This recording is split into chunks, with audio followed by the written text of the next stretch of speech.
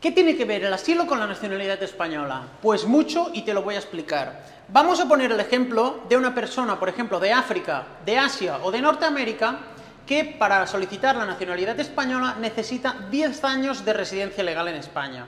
Y es una persona que ha pedido asilo. Puede ser, y hay, mucha gente que ha solicitado el asilo, por ejemplo, en 2020. Y han pasado, vamos a poner que esta persona necesita hasta el 2030 para solicitar la nacionalidad española.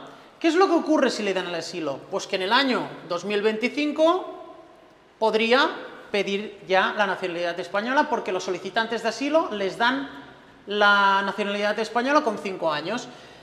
Por tanto, tenéis que tener en cuenta que en el caso de que os otorguen el asilo, la tarjeta será anterior, es decir, se retrotraerá todos estos momentos a la solicitud inicial de asilo. Por tanto, si tú solicitaste asilo en el 2020, en el año 2025 podrías solicitar la nacionalidad, pero que sepas que computa desde que solicitaste el asilo. En el caso de que te denieguen el asilo, pues no será así, porque no computará a efectos de nacionalidad.